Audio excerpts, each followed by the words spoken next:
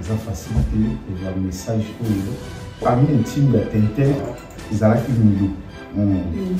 ami intime ya ya moni totikala oyoka te motu moko akufa entre bango mibale na tintin na milu malgre baza badessin anime ami intime ya tome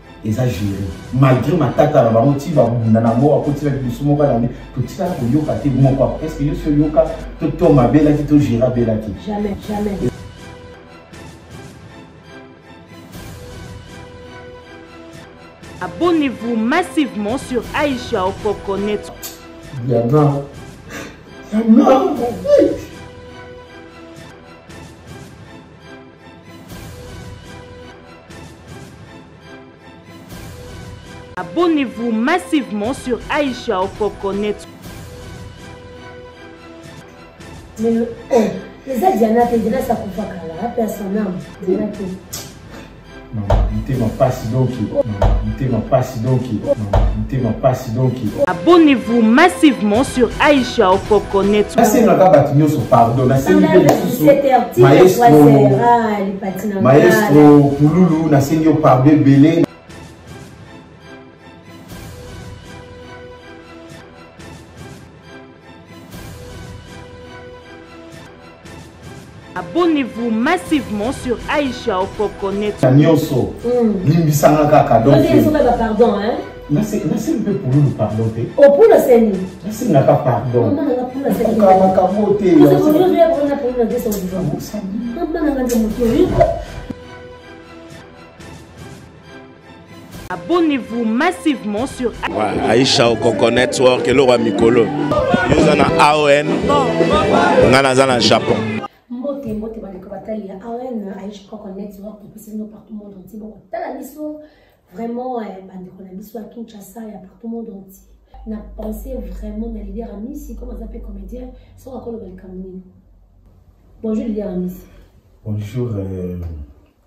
Maman Aisha Okoko, mm.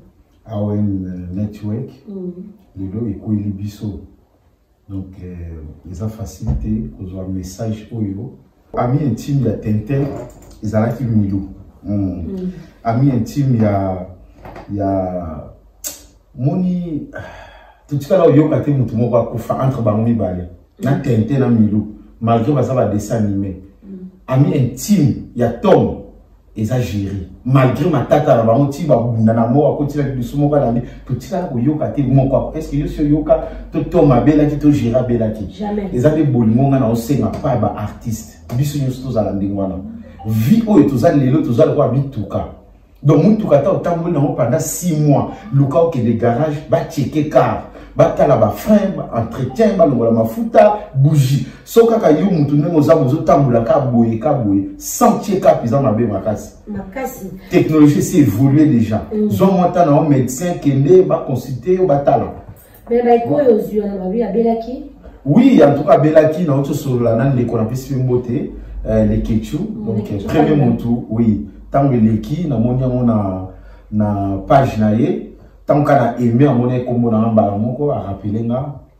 eh, abeteli nga bien naza kuna moto nazokende kote kuna na résidence vraiment esali nga pa diana diana mais oh, eza diana te diana sakufa kala ape ya son ame diana te mama motema mpasi donc oh, amrima nao comprendre te donc eza melodie hein? eh, melodie ndeko na biso oyo ake avant trop ake avant trop nazwa ntango lela diana te oh. basi na raisonne basere na biso mindondo bango nyonso oh. seke bamaono eza ya bandakala na bamasirika eh. bandeko basala mosala na niveau biso totala na tele bato bato tozoloba lelo tozolela melodie baka batapembe baza kaka donc baza lokola même même usine même compa nzambe ntango aosala mm. aponaki bango nyonso bato barange ya pembe ozwi ba mélodie ozwi ba diana ah! ozwi ba visa olobi yango lisusu bango nyonso baza na meme range mama makambo elekela biso na vie omoni ya na makambo mosusu okoki koloba makambo mosusu eza bien peut-être ozoyela aisha message moko ya bien mm. mais elobeli na yo soki eza mabe aisha akobalukila yo message eza pase te ocomprendre mm. yango omoni eza baerreur oyo biso mpe tosala oza na message moko ya bien na maboko oyo peut-être okolobela grand frère na yo to yaya mais oke na message yango na ndenga mabe siko ebimisi yo mabe eza lokola kulutu na ngai mon vieux mon papa kulutu jani fai na profite na nyonso ezoleka nasenga mpe grand frère na nga pardon wana aza papa aza vieux vieux jani oyo eleki na yo eh, bakambo tozosala baart oyo tozosala tolandaka bino tolanda bino kaka nzela bofungola biso mitema bopesa biso chance wa vie na nga oyambi nga awa na kati ya paris na kati ya poto vie so nakendaki mwa mbango mwa vie peti abungaki donc so totali bamakambo ezokomela biso na vie ezosengaka tozala ya kokita toyoka baconseil ya bavie mpo vie na ngai janifa apesanga baconseil moko eza ngai na negligea ozo comprendre na negligea non problème eza yango nalobi message ekozala bien mais ndenge nini okolobela message yango naleka mpe na internet yango mpe nazongi na internet tellement nalobango na internet mm. naleki mpe na internet vie limbisa oyo non yango nalobi omoni biso baleki lere moko bavitesse epuis oye na internet oye na makambo te osala mwa deux trois personnes bameki olanda yo ale obungi vertige donc soki oza na maîtrise te obunga donc en tout cas nga moko vraiment na motema nabimisa ma ya miso mon vieux jani oyo leki na yo euh, na mokili awa so oyebi komikitisa te sekoa motu te ouais.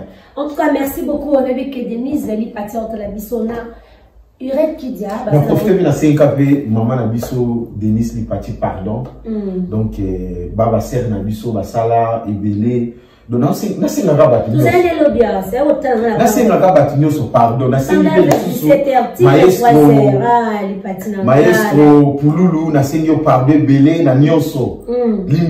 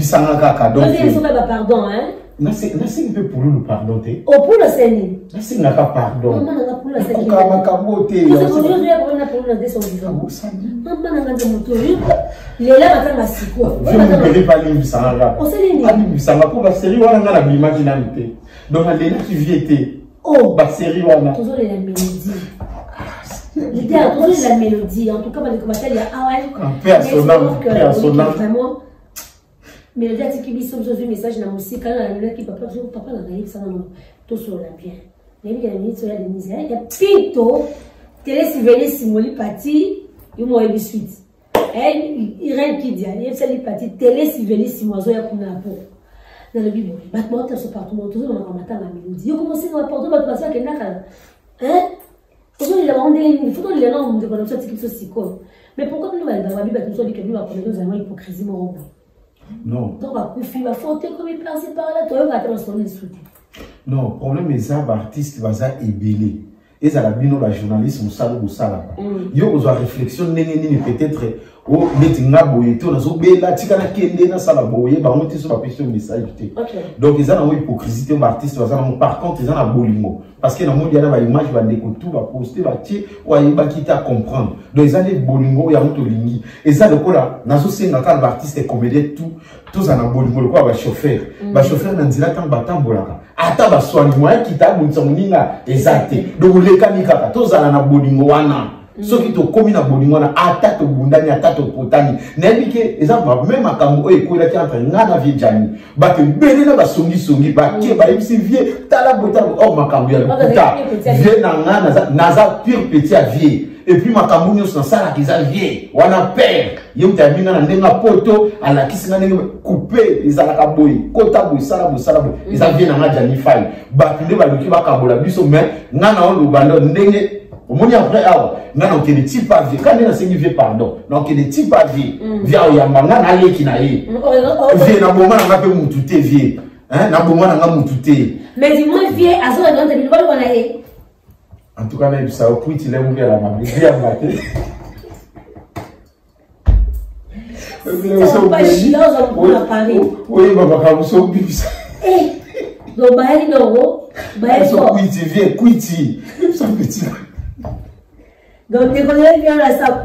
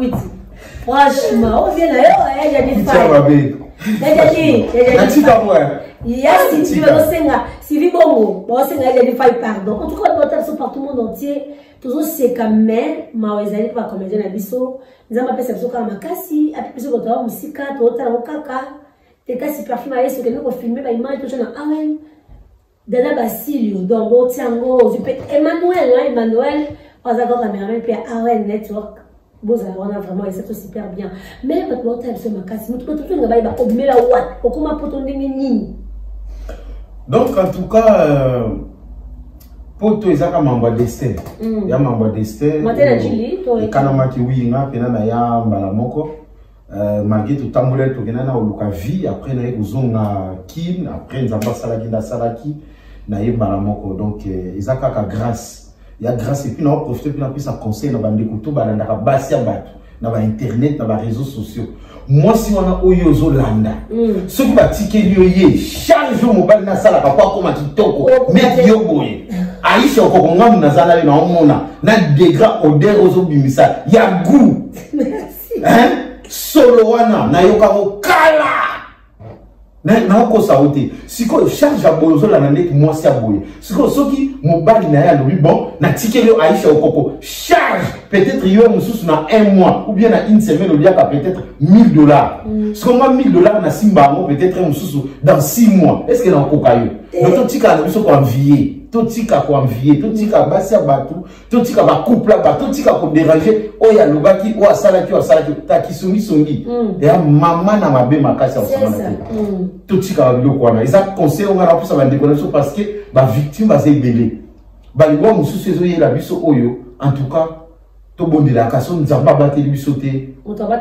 aza te ngai sikoyo eloko kaka naosenga na nzambe na miniti oyo a protéger baartiste oyo basali ya minene mm. oyo batekisi basede banzodi babatela bango bazala wana parce que biso tozo inspire na nsima na bango parce que okotala bango bozwi otali vie jani boye ndeka vie abetaka ah, obimisi bulu yo obeti yango na jolider amisi donc c'est comme ça okotala ka kulutu na nga mon président Hans Luzolo to président Fiston Saïsaï ou bien mon président les rois de rire esobe so tali bango kaka ozwa mama na inspiration mm. yango omoni ke esalaki te nafanda sui donc bavie na ngai nalinga ratata pene na bango so abengi nga na okende parce que conseil oyo bapesaka peti na ngai respect eloko ya liboso respect yango mpe bameme conseil oyo via banda opesaka sikoyo nga sikoyo omoni kaka mwana ti mm. mwana ntango okoli epuis na puberté te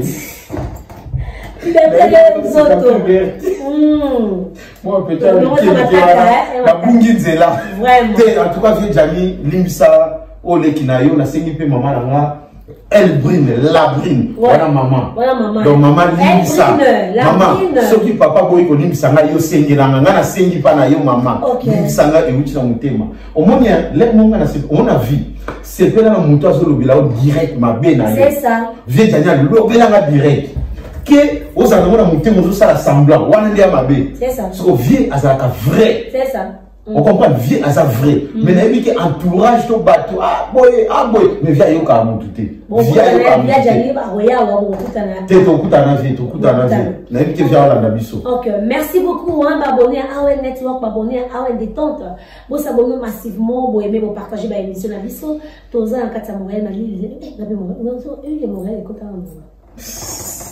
Canada te mboka na oti talaka bisiko fana 9 mois po bosana ngo ya facile te tona panama kwe mangala tona panama gastino mangala de montréal tona panama na kimbino eh tozwi mpe colette tilulu bokeyaka makombola bana babwana gastino mangala vie na yo ti ah bavie na biso bagastino mangala aza na restaurant 30 juin na canada Ah, restaurant 30 juillet. Donc, je n'en quel nom là. Olia wana komela. Mais Aïcha obi yo po beta mabe. Olia ka yo moko. Tozana na kin. Obetela nga masolo. Yo olia ka yo moko pa mama di mama mama olive lembe. Oui, na ye awa appartement degré ozo vivre.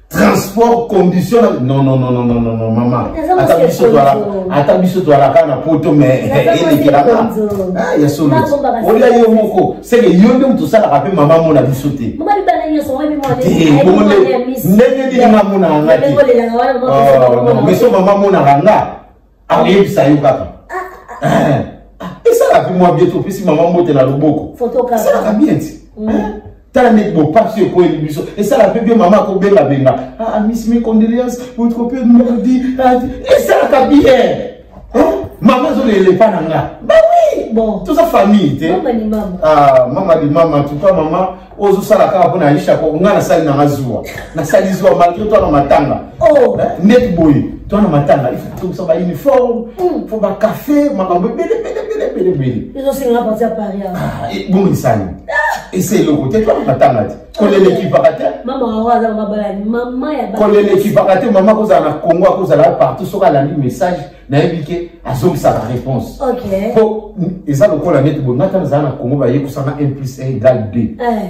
nake na brazzaville nakuti susu likambo ya 2 mm. nalongwe braza nake afrique du sud nakuti 1 plus 1 egal 2 naye na france 1 plus 1 egal sikoyo de likambo nini ya mema mathématique ya na buzoba donc nga naloba 2 likambo nini onga na mema oh.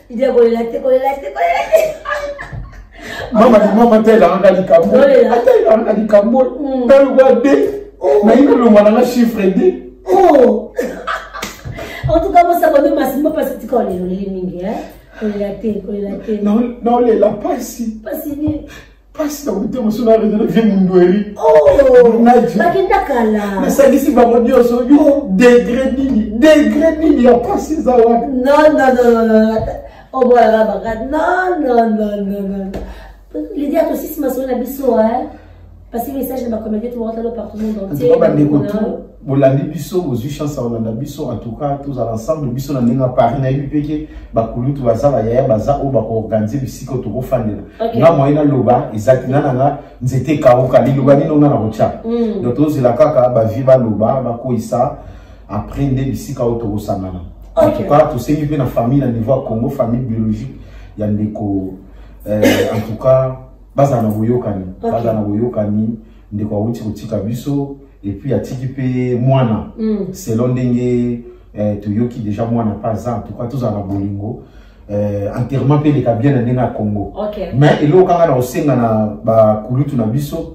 oyo batala mambo artiste comédien président fisto saisa epe azongaki président esobe nde azana na paris awa mm. en tout cas bacomédien baartiste bakufi ebele siko ndeti nga mm. tokotikala na nani oh. do eloko naosenga na vie masumu tour oyo toketalisa oh. wa ya mélodie eza claire te tour oyo tokende kotalisa oh. tour oyo tokoyoka motu te tokende kotalisa toke tozokende kotalisa soki moye te tokende na njili na quartier 5 pa moto akopo oh. babangana na biso baartiste ya comédie batya biso bakopo oh.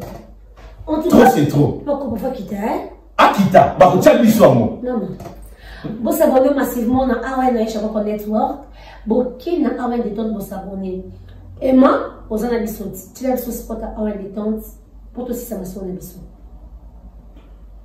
merci en tout cas aisha okoko nazwi mpe ntango nameka koremercie bandeko basunga nga président john kitoko 91 Eh, wawa bakula ye kutu atikaka biso te ntango ayokaki sango abengi we alobi fombo na ye toke voyage na biso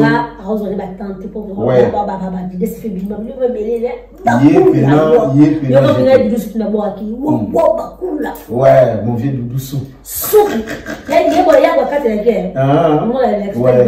na profite mpe kopesa bandeko nyonso ya paris baartiste et comédien tout mm. euh, mon vieux jani fai euh, euh, nabosani te euh, président demini président mimi leader kanto euh, kulutu na nga papi kader papi mm. kader orphelin wana azala orphelin mm. pasi ekweli biso nayebi ke bameta mpinga bamaxi bondowe euh, bato nyonso nayebi ke tokosangana tozala esika wana bosani te merveille nayebi te tozala ya kosangana biso tu okay. uh, so tosangani tokoyeba ndenge nini tokosala mwa un un peu peut-être mm. otindela bandeko baza na congo na niveau ya kin mm. en tout cas esala bien mais bameka na kotala parce que akufeli na pointe noire mm. ya mboka mosika donc mpo na kodeplace corps ekoma kin nayebi te nayebi te mais en tout cas soki mpena facilité ekozala soki moyen mpena ekozala nayebi ki baprésident masumu baza wana organisation moko ekoki kosalama mm.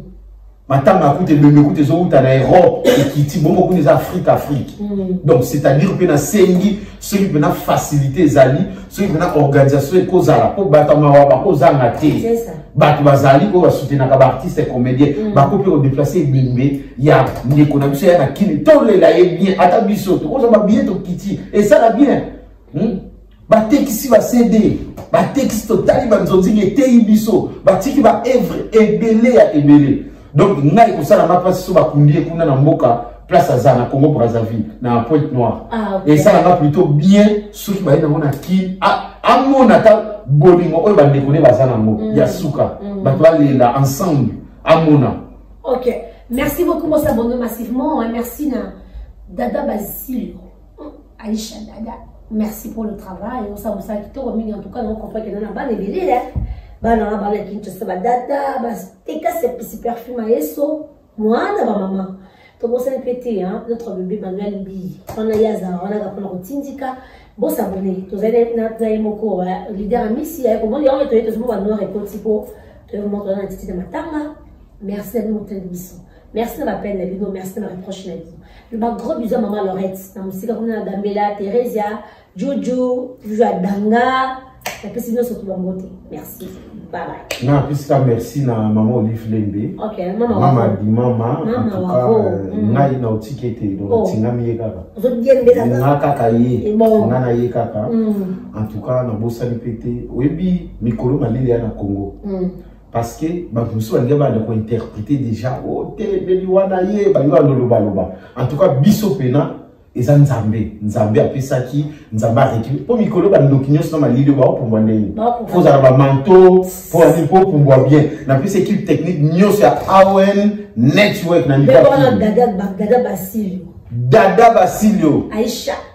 Aïcha. Emmanuel Mbiye Emmanuel Mbiye derrière la caméra. Bon. En tout cas, biso siko na nenga AOM network na niveau Paris. Bon. Biso ye. Équipe yango malgré na na pasi kaka na motema ti lelo esimba te grand frère na biso te buzoba esala ngando tellement azala mwasi ya kitoko avivaka bien mituka ndako baninga na nga bakosa ngo tiela ye poison po akufa oh. na nga tiela ye poison oyo okotikala na babie par erreur nazwi poison yango mpe na ndimi nake na tie na vere na ye nzoka ntango natelemaki amonaki nga kokita na okita achange vere oyo ya poison ekomi na ngambo na nga oh. apesi nga mpe avota soif tobetani mpa na bele mpa na sezamela ayebisi nga vere omeleza oyo otyelaki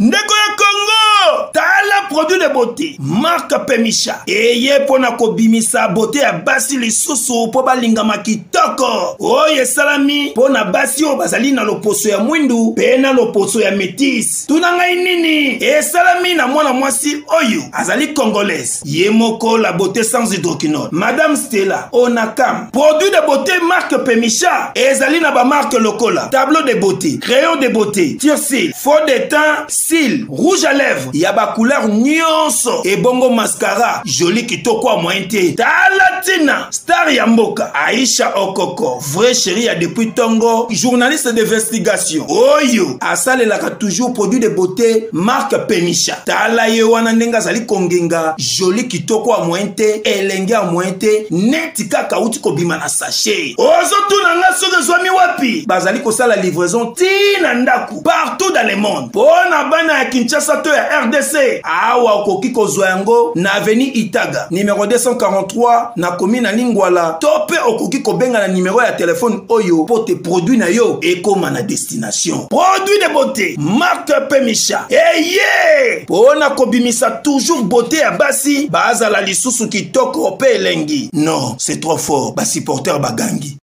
aisha okoko network eloko ya mikolo yo oza na aon ngai naza na japon